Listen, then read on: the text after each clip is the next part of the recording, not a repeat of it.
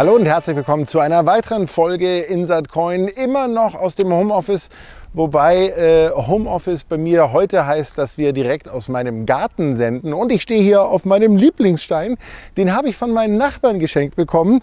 Die haben da diesen wunderbaren Schnauzbart eingraviert. Finde ich echt absolut top. Und ja, ist echt ein sehr, sehr geiles Geschenk gewesen. War auch eine geile Feier dazu. Aber das ist eine Geschichte für eine andere Zeit. Ja, Insert Coin. Ne? Äh, Corona-Krise macht uns allen zu schaffen, auch in der Videospielbranche immer noch. Und das merkt man auch zum Beispiel daran, dass jetzt die QuakeCon abgesagt wurde wurde. Die sollte ja eigentlich erst am 6. bis zum 9. August stattfinden. Tja, und die haben sie jetzt auch gecancelt und eigentlich ist das ja noch ein ganz schönes Stück hin. Da frage ich mich natürlich, wie sieht es mit der Gamescom aus? In Köln wird die noch stattfinden. Bis jetzt wird an den Plänen noch festgehalten, dass die kommen soll, aber ich glaube, das wird auch relativ schnell gehen, dass die dann auch abgesagt wird. Kommen wir jetzt mal zu den Themen unserer Woche. Das Filetstück der Woche. Resident Evil 3 hat ein Remake erhalten und das haben wir für euch durchgezockt, den Singleplayer als auch den Multiplayer-Modus. Dann apropos durchgezockt, da habe ich ein Spiel namens Control gespielt und zwar den neuen DLC namens Foundation. Ziemlich cool, aber auch nicht ganz fehlerfrei. Dann im First Look Predator Hunting Grounds. Der 80er Jahre Klassiker kehrt zurück, allerdings ohne Army und als Multiplayer-Spiel. Und dann gibt es noch ein bisschen Virtual Reality mit Paper Beasts. Ein wirklich sehr, sehr abgefahrenes Ding, das man sich mal reinziehen sollte. Doch, äh, ja, wir legen jetzt natürlich los gleich mit dem dicken Filetstück, überspringen die Vorspeise und jetzt gibt's Resident Evil 3, das Remake, ein Spiel, auf das viele Fans lange gewartet haben.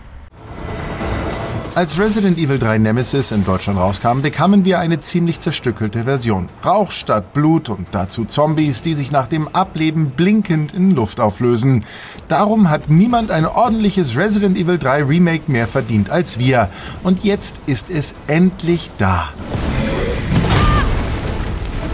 Im Spiel steuert man die Polizistin Jill Valentine beim Versuch, aus der von Zombies überschwemmten Stadt Raccoon City zu entkommen und trifft unterwegs Mitglieder einer Sondereinheit, die Überlebende per U-Bahn aus der Stadt bringen möchte. Da ihr der Koloss Nemesis stetig an die Wäsche will, weil er dem Auftrag folgt, alle Mitglieder der Stars Sondereinheit zu beseitigen, muss sie einige unangenehme Umwege im Kauf nehmen, bevor sie dem Weltuntergangsszenario entkommt. Wo die Neuauflage von Resident Evil 2 zwar die Perspektive zugunsten der Echtzeit Echtzeitgrafik veränderte, ansonsten jedoch pedantisch am roten Faden der Vorlage klebte, erlauben sich die Macher der jüngsten Episode viele Freiheiten. Obwohl einige markante Schauplätze des Originals weiterhin vorhanden sind, fehlt doch mehr, als man zuerst vermuten würde. Glücklicherweise auch einige lästige Backtracking-Orgien, die herausgeschnitten wurden. Capcom nahm eine ordentliche Straffung an manchen Stellen vor und fügte an anderen neue Szenarien hinzu, um die Stadt besonders hervorzuheben. Neonschilder von Restaurants, Blaulicht von umgestürzten Polizeifahrzeugen, schummriger Schein von beschädigten Straßenlaternen. Raccoon City ist bei Nacht erstaunlich farbenfroh, ohne seinen Schrecken zu verlieren. Das blanke Chaos herrscht, Zombies gurgeln und ächzen überall, Wege sind durch Feuer und eingestürztes Gerümpel versperrt. Obwohl das Stadtbild offenes Chaos suggeriert, fühlt es sich doch verdammt beklemmend und eng an. Da kommt ein unverhofft auftretender Zombie-Fleischklops wie Nemesis denkbar ungelegen, auch wenn er nicht mehr so spontan präsentiert wird wie anno dazumal. Arenenduelle gibt es so gut wie gar nicht mehr. Trotzdem bleibt Nemesis der Dauerschreck, dessen Atem man stetig im Nacken zu spüren glaubt. Jills beste Waffe gegen seine Präsenz ist ein Ausfallschritt, den sie auf Knopfdruck ausführt. Er hilft beim Abrollen, beim Abstand gewinnen und bei der Flucht in das nächstbeste Gebäude, in dem man zumindest für kurze Zeit Sicherheit genießt.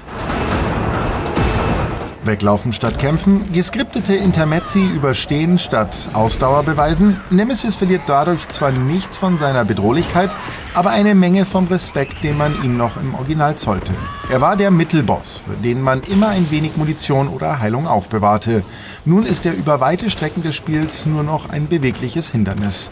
Vielleicht ist das der Grund, warum Capcom den Untertitel Nemesis gestrichen hat. Das Resident Evil 3 Remake fühlt sich durch seine Änderungen dynamischer und moderner an, sowohl im Vergleich mit dem Original als auch im Vergleich mit dem Remake von Resident Evil 2. Ob das allen Fans der Reihe gefällt, steht auf einem anderen Blatt, zumal das Spielgeschehen erheblich actionorientierter ausfällt als beim Vorgänger. Es gibt weniger Rätsel zu lösen, weniger Schlüsselsuche samt der damit verbundenen Orientierungsnot und weniger Munitionshortung. Der Gruselfaktor wird mehr durch die Masse an Untoten aufrechterhalten als durch Ungewissheit. Je höher der Schwierigkeitsgrad, desto einschneidender ist jeder Fehltritt. Im höchsten Niveau verteilt das Spiel sogar alle Gegenstände zufällig, sodass man nicht einfach die wichtigsten Schauplätze abklappern und durchrennen kann. Die späteren Schwenks zur sekundären Spielfigur Carlos wirken sogar ungewohnt spendabel. Fünf Minuten sorglos mit einem Sturmgewehr Zombies über den Haufen ballern? Das gab es in dieser Intensität nicht einmal in Teil 4 oder 5. Wer gruselige Spannung sucht, wird beim Remake von Teil 2 jedenfalls besser bedient. Und langfristiger noch dazu. Von der Wiederspielbarkeit mit mehreren Charakteren und dem New Game Plus des Vorgängers fehlt nämlich jede Spur. Neu ist auch das Multiplayer-Spiel Resistance, das ihr mit Resi 3 bekommt. In Resistance dürft ihr euch mit drei weiteren Freunden per Online-Verbindung zu einem Team von vier sogenannten Überlebenden zusammenschließen, mit dem Ziel, aus einer mit Zombies überschwemmten Umgebung zu finden. Sechs rollenspieltypische Klassen mit diversen Talenten stehen vor Spielstart zur Wahl. Darunter ein Tank, eine Heilungsspezialistin, eine Damage-Dealerin, eine Hackerin und eine Klasse, die herumliegende Gegenstände auf Knopfdruck aufspüren kann. In einer Gruppe darf alle allerdings jede Klasse nur einmal vorkommen. Die vier sollen innerhalb eines straffen Zeitlimits drei große Areale durchstreifen, die zu einem Ausgang führen. Die Rolle des Bösewichts, hier Mastermind genannt, übernimmt ein fünfter Spieler in der Online-Sitzung. Er bleibt im Verborgenen und beobachtet den Fluchtversuch der Truppe über diverse Überwachungskameras. Da er das Experiment steuert, darf der Mastermind nach Gutdünken Zombies und Trittfallen verteilen, welche die Überlebenden von der Lösung kleiner Puzzles und dem Finden von Schlüsseln abhalten sollen. Dabei darf er auch Geschütze aktivieren aktivieren oder kurzzeitig in die Haut eines Untoten schlüpfen, um ihn direkt zu steuern. Je mehr Schaden der Mastermind anrichtet, desto heftigere Gegner kann er verteilen, darunter etwa gepanzerte Elitekämpfer oder eine Reinkarnation des Tyrant Mr. X. Die starke Bevorteilung des Masterminds erschwert die Flucht der Überlebenden erheblich. Womöglich muss Capcom noch ein wenig an der Balance zwischen den Parteien arbeiten.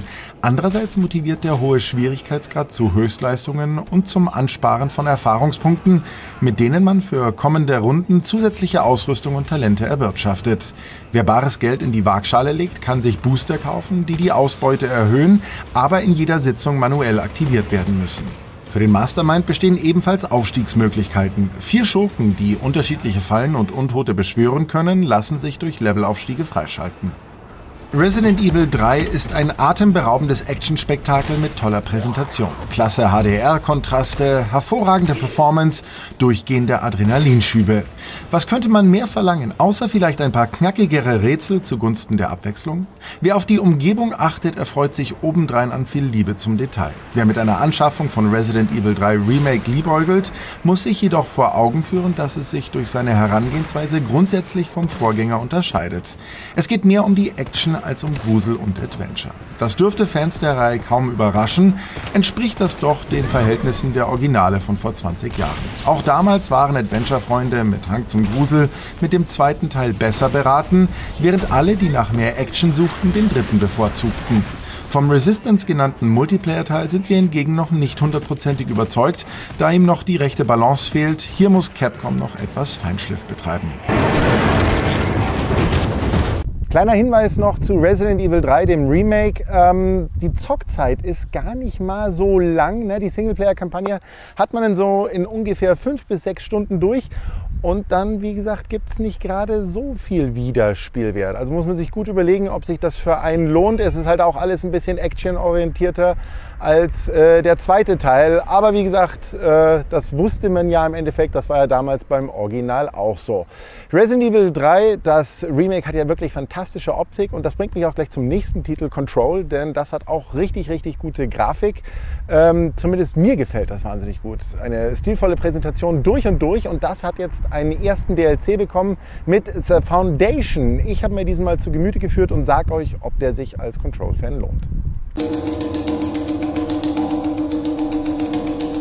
Control war eine der großen Überraschungen für mich letztes Jahr. Lange Zeit ließ mich Remedys neues Actionspiel ziemlich kalt. Als ich es dann aber auf der letzten E3 anzocken konnte, war ich Feuer und Flamme. Das Gunplay in Zusammenspiel mit den übernatürlichen Fähigkeiten, die Atmo, die mich an Serien wie Fringe erinnert, und das originell eigenartige Setting trafen bei mir voll ins Schwarze.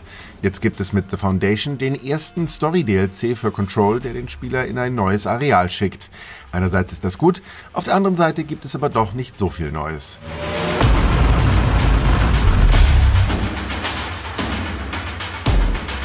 The Foundation fängt im Endeffekt da an, wo das Hauptspiel aufhört. Ihr müsst also das Hauptspiel beendet haben, um den neuen Inhalt überhaupt spielen zu können. Ebenso stehen euch für den DLC alle Fähigkeiten zur Verfügung, die ihr bereits freigeschaltet habt. Faye. Not sure she's ready. I'm here, aren't I? Jessie Feden ist jetzt die Chefin des Federal Bureau of Control und schon wartet die erste Herausforderung auf sie. Über den Steinbruch kommt ihr zu einer ziemlich langen und düsteren Seilbahn, die euch zum Fundament des ältesten Hauses bringt. Die Astralebene bricht immer mehr durch und verschmilzt mit unserer Welt. Genau das müssen wir verhindern, da sonst das FBC zerstört wird. Wer Control länger schon nicht mehr gespielt hat, mag sich etwas orientierungslos fühlen. Zum Glück spricht die Protagonistin relativ am Anfang des DLCs selbst aus, was nun zu tun ist. Okay, let's review. This broken pillar is called the nail. It was broken by something, and now the astral plane is bleeding into the foundation, which will destroy the oldest house, the bureau, and everyone inside. I need to find four locks, or keys, or whatever, to stop that from happening. But I'm the director. I've handled worse. This should be simple. Ish. Mit einer der größten Neuerungen ist das Areal, wo das Spiel stattfindet. Zu den kalten Büroräumen kommt jetzt ein Höhlensystem mit rotem Sandboden. Eventuell sind die Macher große Last Jedi-Fans. Zusätzlich dazu entscheidet ihr euch am Anfang für eine von zwei Fähigkeiten. Ihr könnt entweder Kristalle an bestimmten Punkten erschaffen oder sie zerstören. Keine Sorge, die zweite Kraft werdet ihr später auch noch bekommen. Ich entschied mich aber erstmal für das Erschaffen der Kristalle. Diese Kraft nutzt man dann, um Plattformen zu generieren. Aber auch im Kampf. Hier könnt ihr dann Kristallstachel aus dem Boden schnellen lassen.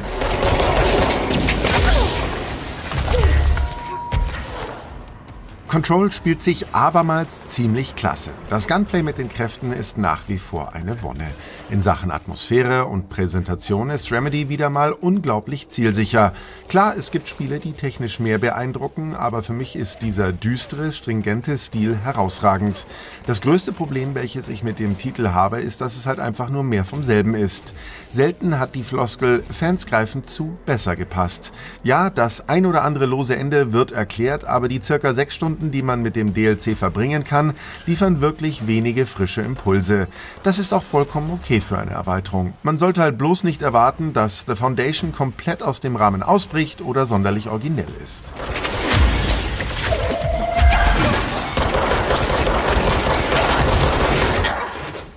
Also fünf bis sechs Stunden Spielzeit kriegt er bei diesem DLC. Das ist ungefähr so viel wie hier bei Resident Evil 3 dem Remake bekommt. Aber es ist halt in dem Sinne einfach more of the same. Das mag so manchem nicht reichen. Kommen wir jetzt zu einem kleinen Exkurs in die 80er Jahre. Da gab es ja Actionfilme äh, noch und nöcher und mit die besten davon wurden von Arnie gemacht. Mit einer meiner Lieblingsfilme ist ja Predator. Und da kommt jetzt endlich mal ein neues Spiel. Das wird aber keine Singleplayer-Kampagne haben, sondern ein reines Multiplayer-Spiel werden. Predator Hunting Grounds. Und eigentlich soll das erst noch im April erscheinen, irgendwann später. Es gab jetzt aber vor kurzem ein Beta-Wochenende oder ein Testwochenende, wo man das Spiel eben anzocken konnte. Ich habe das mal getan, habe auf Seiten der Soldaten als auch des Predators gespielt und äh, zeige euch mal meine Eindrücke davon.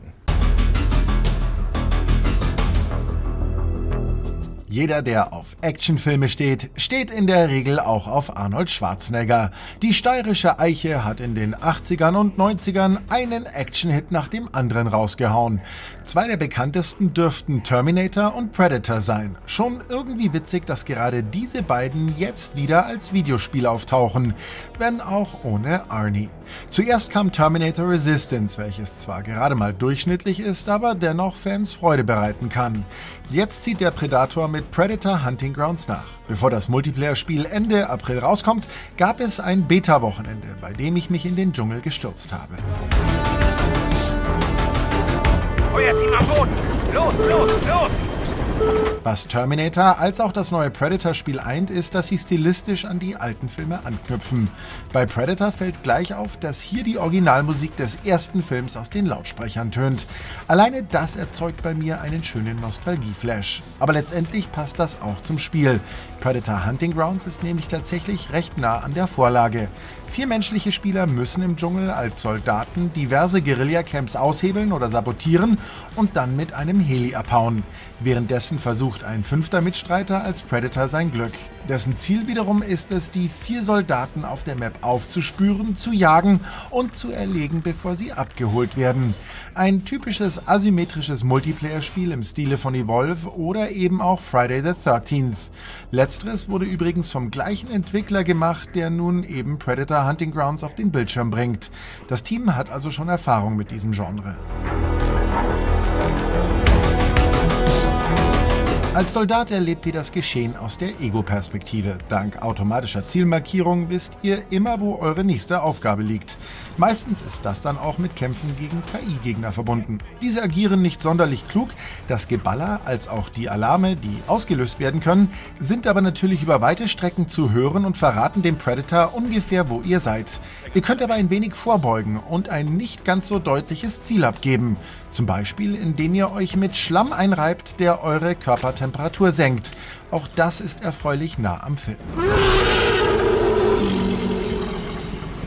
Der Predator wiederum geht in der Third-Person-Perspektive auf die Jagd. Ihr bewegt euch aber nicht nur am Boden, sondern auch in den Wipfeln der Bäume.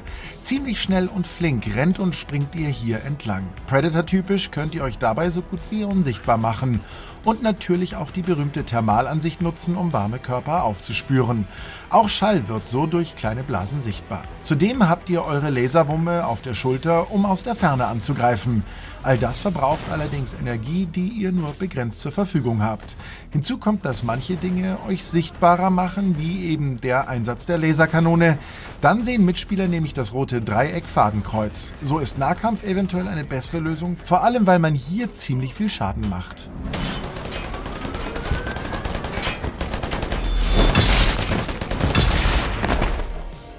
Die menschlichen Spieler zu finden ist als Predator eine große Herausforderung. Während die Soldaten sich als Umrisse mit ihren Nicknames durch die Büsche hindurch sehen und immer wissen, wo Teamkollegen sind, kann man als Predator menschliche Spieler von KI-Gegnern kaum unterscheiden.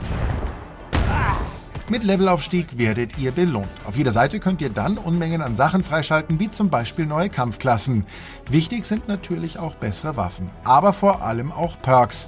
Diese Fähigkeiten scheinen noch viele Spieler zu vergessen. So kann man zum Beispiel leiser werden oder weniger Körperwärme abstrahlen. Der Predator kann aber ebenfalls mit diversen Boni und anderen Waffen ausgestattet werden. Das ist alles eigentlich ziemlich cool und eben auch wunderbar nah am Film. Vor allem, wenn man als Predator sich dann eine Trophäe in Form der Wirbelsäule gönnt. In den Zock-Sessions offenbaren sich aber so einige Probleme. Der Predator ist einfach krass überpowered. Sobald es zum Kampf kam zwischen ihm und einem menschlichen Team, zogen letztere immer den kürzeren. Er ist zu flink, kaum sichtbar, kann Bäume nutzen und teilt ordentlich aus. Zwar kann man den Predator für alle kurzzeitig markieren, aber dieses System ist zu penibel und müsste etwas mehr Spielraum geben. Der Aufklärungsdrohne wurden alle Dorfbewohner. Mehrmals passierte es meinem menschlichen Team, dass der Predator uns das gesamte Match gar nicht erst fand und wir relativ simpel mit dem Heli abhauen konnten. Das war dann irgendwie auch recht lahm. Eventuell müssen Leute hier aber einfach noch besser lernen, die Fähigkeiten des Jägers einzusetzen. Das größte Problem, das ich aber mit Predator Hunting Grounds habe, ist die Technik. Das Spiel sieht okay aus. Der Dschungel ist erfreulich dicht und in Gefechten fliegen hier auch ordentlich die Laubfetzen. Ebenfalls wie im Film. Das Bild ist aber ziemlich grisselig. Am schlimmsten ist aber, dass sich das Spiel so hackelig anfühlt. Das Zielen und Ballern als Soldat ist einfach zu ruckelig. Predator Hunting Grounds würde enorm von 60 Bildern die Sekunde profitieren. Gerade weil der Predator so flink ist, ist es essentiell, ihn ins Visier nehmen zu können. Das Spiel steht sich hier leider selbst im Wege.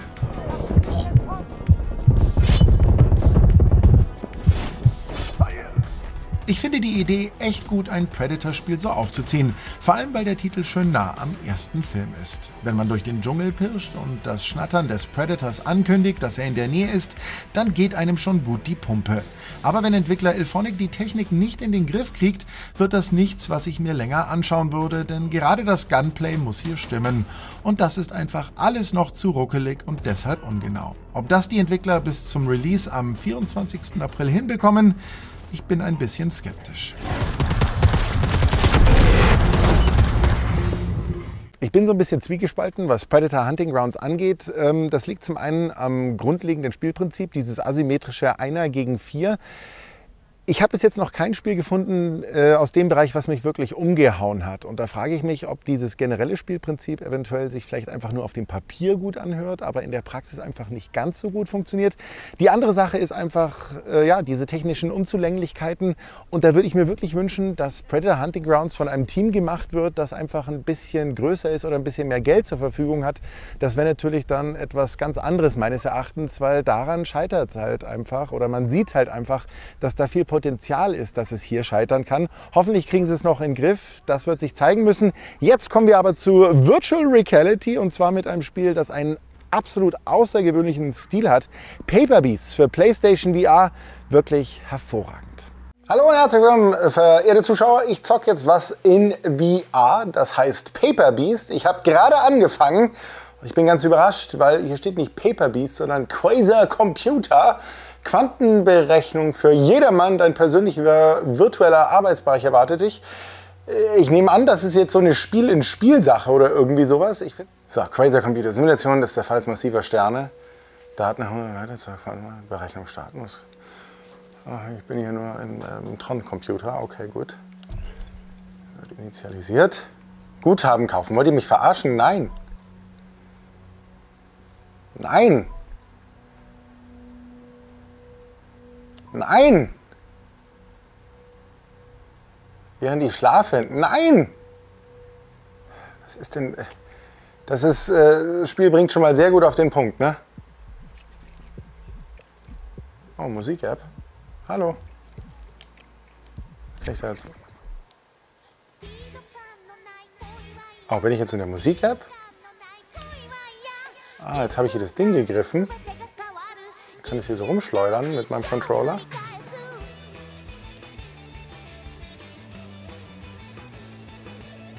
Kann ich hier die Fäden so lang ziehen. Okay. So ein bisschen trippy. Mich erschließt sich, oder mir erschließt sich der Sinn hier noch nicht so ganz. Was ist los? Schwarzen Bildschirm. Wow.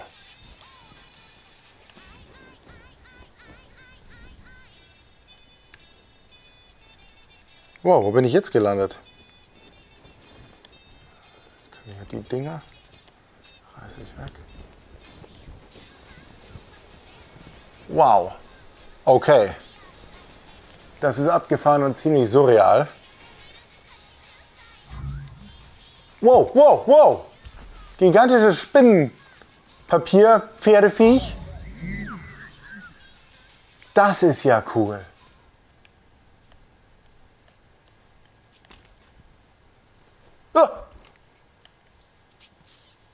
Bist du denn? Ah. Okay. Wow. Teleportation. Ah. Wo ist jetzt das andere Viechchen? Also, das ist so ein Spiel, wo man eben nicht freie Locomotion hat, sondern eben mit Teleportation und ruckartigem Drehen. Ja, wer mich kennt, der weiß, dass ich sowas natürlich nicht so geil finde, aber nun ja, muss man halt mit leben. Ne? Ich kann das auch nicht ändern in den Optionen.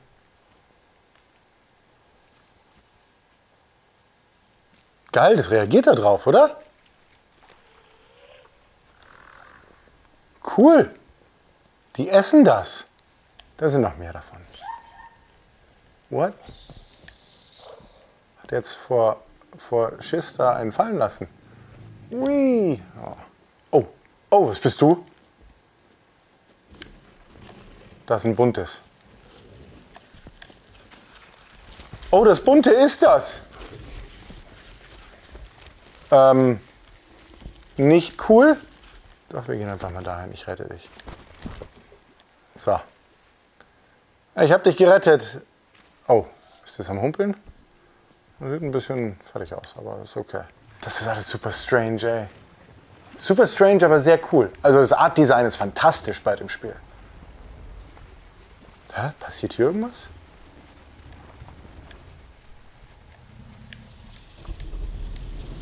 Ja? Oh, ich sinke ab. The fuck's going on? Äh, vielleicht sollte man hier abhauen. Ich will nicht da rein. Kann ich hier hinten hin irgendwie?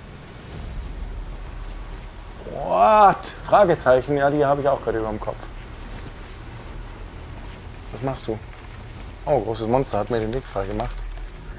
Na, dann lass uns mal da lang. Aber das ist auch schon wieder komisch hier der Boden, ne? Hier ist eine Höhle. Soll ich hier rein? Eine Höhle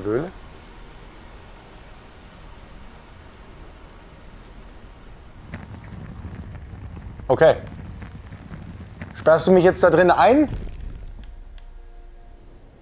Es wird dunkel. Wow, wow. Okay, ich nehme an, dadurch, dass du nicht so bunt bist, bist du kein Raubtier. Du bist eher nett, bitte sei nett. Das ist da auch wieder so ein bisschen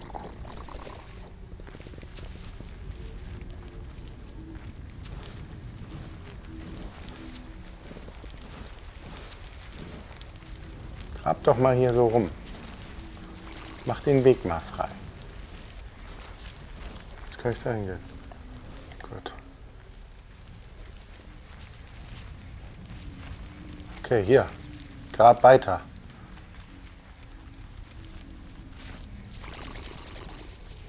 Jetzt habe ich den da so ein bisschen gelenkt, ne? Dann macht ihr das wieder. Also ich kann den halt dann so greifen. Oh, dachte ich mir schon. Hier cool, Lichtmorchel. Dinger. Da kommt jetzt irgendeine Spinne, ich sag's euch. Jetzt kommt wieder irgendwas, worauf ich nicht so Bock habe. Ah! Ich ziehe es mal näher ran. Durch diesen Dschungel hier. Wow. Ist es auf einmal da fest? Ich gehe weiter, ich habe nichts gesehen. Nur eine dunkle Höhle. Tut ihr nichts. Jetzt raus hier. Es ist irgendwie schon cool, das Design. Es erinnert mich aber komischerweise auch an äh, sowas wie ähm, das Ding aus einer anderen Welt. Da sind auch wieder so lauter komische Futter. Mit dem muss ich doch sicherlich auch irgendwas machen, oder? Hm, Punkt jetzt. Vielleicht muss ich hier einfach diesen Damm brechen, ne?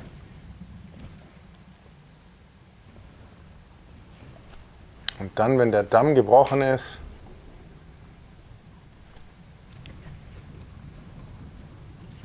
so, ich komme auf jeden Fall weiter, habe ich das Gefühl. Hey, irgendwie ist es noch nicht richtig, was ich hier mache. Ich check's gerade echt nicht. Ich stelle mich gerade, glaube ich, echt doof an. Komm, jetzt habe ich es doch fast. Da. Ja, I've made this. Also es hat etwas gedauert. So, wir sind in der Höhle weiter. Jetzt mache ich mal aus dieser Höhle aber rauskommen. Da hinten ist ein Weg.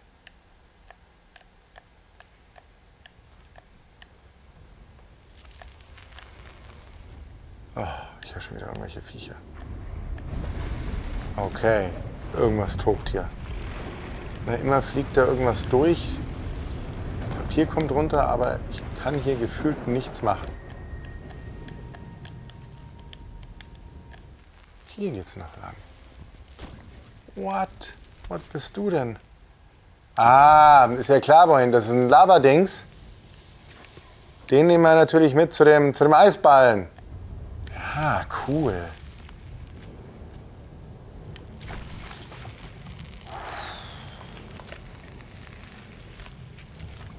Machen wir weiter nach hinten mit dem Digi-Kreuz. Ich finde es sehr cool. Also es ist super anders, dieses Spiel. Aber es hat was. Es hat echt was. Wow. Du kleiner Scheißkäfer. Ha. Hättet ihr wohl gerne, ne? Hättet ihr wohl gerne. Wow. Hey. Distanzwaren. Ah, jetzt bauen die da jetzt einen Weg hoch? Machen die da was für mich?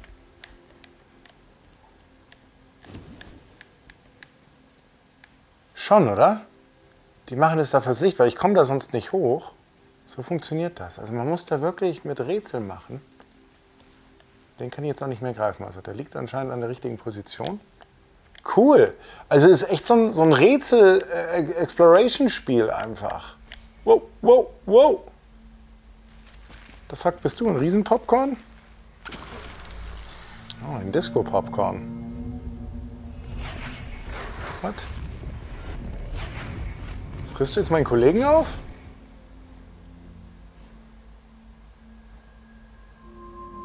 Oh, ein Teleporter.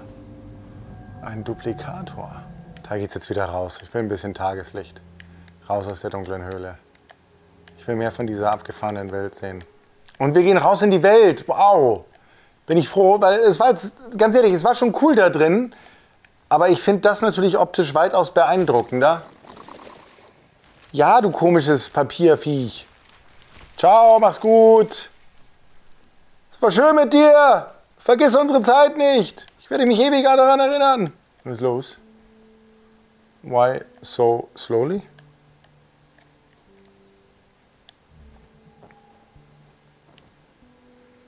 Wahnsinnig cooles Design. Echt wahnsinnig cool. Das ist schon abgefahren hier alles. Wow, Baum! Le Wachs! Hey, was ist mit dir los? Oh, oh, da blüht was. Bist du? Wow, this is not a simulation. The fuck, was ist das denn dann? Es ist super crazy. Oh, nein.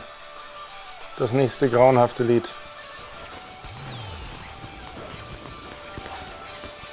Freund oder Feind?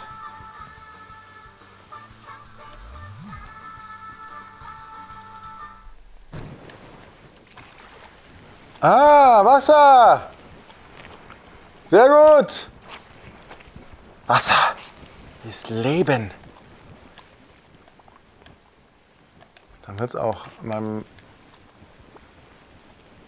großen Spinnenpferdemann wieder besser gehen.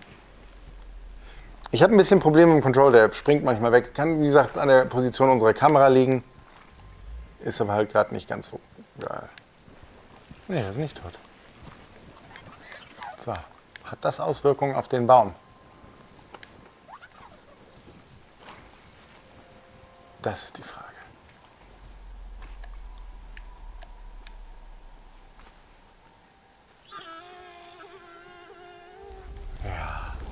Okay, aber an dieser Stelle komme ich jetzt mal zum Ende.